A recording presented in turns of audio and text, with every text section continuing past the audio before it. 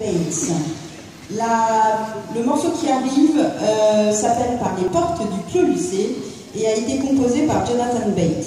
So, Jonathan Bates has been a long-standing friend of the Flowers Band and has written or arranged numerous pieces for which have been performed in concerts, contests, and recorded on CD.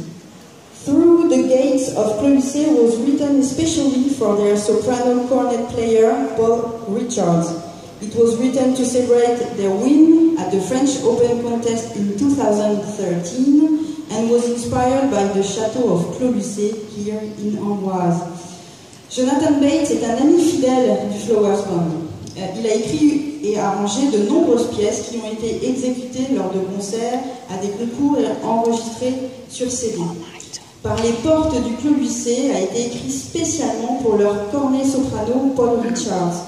Il a été écrit pour célébrer leur victoire à l'Open de France de Brass Band à Amboise en 2013 et a été inspiré par le célèbre château du Clos Lucé que nous connaissons tous.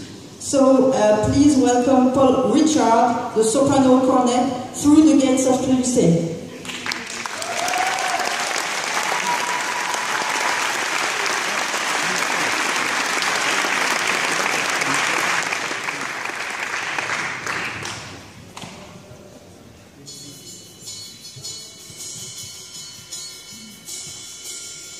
Jesus.